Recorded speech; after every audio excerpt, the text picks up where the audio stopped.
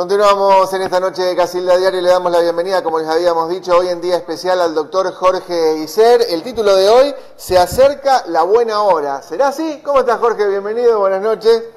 Sí, bueno, eh, la expectativa es favorable. ¿Qué tal? Buenas noches. Un placer. Gracias por recibirme. ¿eh? Yo creo que la expectativa es favorable. La expectativa y los resultados van a ser favorables en la medida que nosotros los argentinos, argentinos tomemos eh, una propuesta y un buen camino, que yo creo que está marcado. ¿eh? De lo que hemos recorrido, eh, decididamente no ha sido bueno, los resultados están a la vista, y este es una propuesta razonable, en otros lugares da resultado. bueno, sí, hay que corregir innumerables deficiencias, innumerables distorsiones. Se está trabajando mucho en muchas reuniones, inclusive con el mundo, ¿no? Porque hay muchas reuniones y mucha gente eh, que apoya también desde el exterior, ¿no? A que le vaya bien a la Argentina ahora. Y bueno, sí, sí, el, mundo es competitivo. ¿eh? Si nos va mal, eh, nos vamos a tener que hacer cargo o, sufrir los resultados de estar mal. Por eso tenemos que buscar la bondad de la cosa el, mundo, por más que nos diga, bueno, sí, el mundo hace su juego, hay cada vez más oferta de cosas, está bien que hay más consumidores, pero eh, la lucha, la competencia es grande. Nosotros tenemos un factor favorable, que es que el mundo tiene 8 mil millones de personas hoy, va a tener 9 mil en la próxima década, y nosotros aportamos alimentos. Así que eso es una situación que nos beneficia. Tenemos mercado. Así que eh, eso es una buena razón. Bajo el punto de vista del alimento, tenemos energía, tenemos minería, tenemos eh, turismo, tenemos energía, tenemos muchas cosas. ¿eh? Evidentemente, Puede ser que es la historia del rico que se deja estar y, bueno, viene otra generación que gasta lo que se enriqueció una y después viene la tercera. yo creo que, nosotros somos la tercera. Nosotros somos una generación, nosotros, los jóvenes, ¿eh? que son los que en definitiva han votado y han empujado a este cambio de rumbo son los que también van a tener que asumir la, dirección y las responsabilidades. Está muy bien, yo, lo, veo, no sé, me siento como que estamos en una buena nueva era. Eh, Jorge, hay mucha, a ver, hay una sensación también de parte de la gente que no sabe qué va a pasar la semana que viene cuando por allí eh, asuma ¿no? el nuevo presidente, porque, a ver, se ha generado mucho miedo en la campaña anterior eh, y bueno, la gente está con miedo, ¿no? Por allí, eh, si hay gente que no va a cobrar los sueldos. Eh, hoy le escuchábamos a Milei donde le decía a, las, a, las gobernadoras de las provincias que no tienen el dinero para, para pagar los aguinaldos.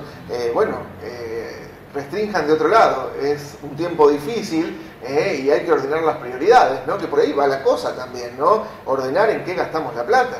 ¿Eh? Es así, no podemos tirar para todos lados cuando, a ver, ni siquiera hay para pagar los sueldos, ¿no? Es una cosa lógica lo que está pasando, ¿verdad?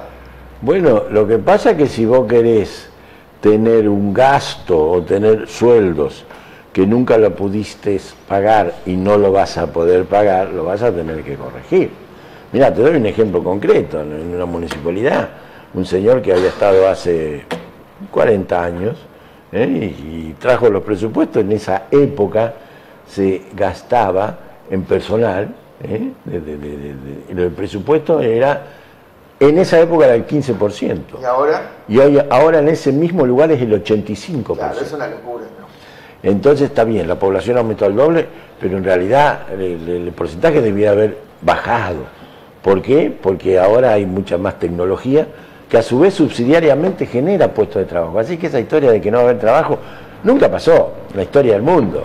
¿Eh? hace 100 años era la, mitad de la población y había trabajo y ahora el doble y también hay eh, en los lugares en donde bien está organizada la cosa, hay un grado de desocupación que es un grado técnico, Ahora, 5 a Jorge, 10%. Con estos datos que estás tirando, ¿no sería hora que también el municipio haga sus correcciones? A ver, si antes eh, un 15% se iba a sueldo y ahora un 86%, hay algo que no está bien, me parece, ¿no? Porque, a ver, no queda prácticamente nada como para hacer obras en la ciudad. Decididamente. Y estos son hechos concretos, son datos, está bien, hace 40 y pico Bueno, de pero años. el, porcentaje es el mismo, estamos en los porcentajes hablando, ¿no? Estamos hablando de porcentaje. Y va a haber que corregirlo. La, la- la- la gente, mira, yo hago la imagen que en algún lugar donde tengo que discutir, digo, mira, esta es la situación actual. No se puede poner a cinco personas para que haga el trabajo de una. Si esa persona no tiene ganas de hacer el trabajo que corresponde, que se vaya. ¿eh? Bueno, ver, es va a haber que es así. reestructurar. En realidad la culpa no es del chancho, es el que le da de Sí, comer. bueno, pero también tiene de que todo el sistema. ¿no? Porque cobran con lo que pagamos todos. Bueno, la dirigencia los ha puesto ahí. Exacto. Y los ha comprado. ¿eh? Y los ha hecho la cámpora concretamente para que se financie. Es que, Bueno, a ver, uno agarra la lista de, de empleados y lamentablemente siempre está el familiar de, el amigo de, y no debería ser así. Bueno, por ver, eso, el mensaje que quiero dar es un mensaje de buenas expectativas. ¿eh? Lo vamos a hacer. La Argentina puede, la Argentina fue maravillosa. Era un país de inmigración, venían todos acá, ahora es de migración, se van. ¿eh? Escuché por allí un comentario de alguien, un genial conductor que decía que era mentira, que a principios del siglo Argentina, la Argentina era riquísima. La prueba está en los indicadores y la prueba está en la inmigración. Después la descompusimos. Fuimos por un camino donde creíamos, bueno, sí, es una propuesta, en el mundo hay esta propuesta. Han fracasado. ¿eh? Que me nombren un país en donde diciéndole a la gente que los valores son el no trabajar, el no estudiar, el no ahorrar, el no tener seguridad, el no tener eh, reglas de, de- de- de- instituciones y, de contrataciones, que a ese, en ese lugar vaya bien, bueno, que tráiganme uno. A mí me gustaría que alguien venga acá y me diga, esto eh, eh, tuvo éxito en algún lugar. Y no es así. Y nosotros lo sabemos, la gente lo siente. La gente está necesitada, la gente protesta, y a mí me parece bien, y tiene todo el derecho a protestar, pero también tiene la obligación a proponer. Porque protesta sin propuesta y sin un- un- un- una instrumentación que nos haga caminar en el sentido de tener indicadores, de tener éxitos en, la- en las realizaciones. Bueno, nosotros lo entendemos, ¿eh? yo creo que la gente lo entiende. La gente lo entiende que esto así eh, no puede seguir. Jorge, eh, ¿qué es la estanflación? Esta palabra que se empezó a escuchar hablar en el día de hoy cada vez que uno pasa por algún medio de comunicación cambiando de canal, eh, lo ve escrito o está toda la gente hablando de esto. No hay que cambiar de canal. no, no, era- Mira, esta inflación es recesión, que es lo que está pasando en la Argentina. La Argentina está en recesión. Hace más de 10 años que, que- que no crece. Es decir, la gente gana menos. ¿eh? Tiene un salario inferior. Todos lo, lo- lo- lo vivimos. El que más y el que menos. Y además de tener una menor capacidad de compra, tiene menos ingreso, tiene inflación, en donde con aceleración rápidamente se le deteriora lo que le ingresa. Esa es la inflación. ¿eh? Porque puede haber inflación con crecimiento. Bueno, algún grado de inflación, los que saben dicen que algún pequeño grado de inflación está bien para que se acomoden los precios relativos que se tienen que acomodar por diversas eh, Claro, no- no situaciones. tanto como los números que estamos escuchando. No, no, Creo que esto es- en una semana, esta semana que pasó, entre el 18%, fue una locura, ¿no? Viste que antes se daba una vez por mes con el INDEC, bueno, ahora se está desglosando en semanas. Semanal. eh, y creo que fue un 18, imagínate Bueno, si porque te- multiplicamos. se vienen todas las correcciones. Claro. Y también tiene que venir la corrección de los ingresos, que ese es el optimismo y que el Señor tiene que entender. Y para que haya mejora en los ingresos, tiene que haber aporte a la sociedad, aporte a la productividad. ¿eh? Si usted tiene un trabajo que no aporta, que calienta una silla o que vive a costa de al lado, bueno, eso eh, no resulta, es contraproducente. Así que en, definitiva la, pregunta tuya es este, lo que nos está pasando, nos está pasando.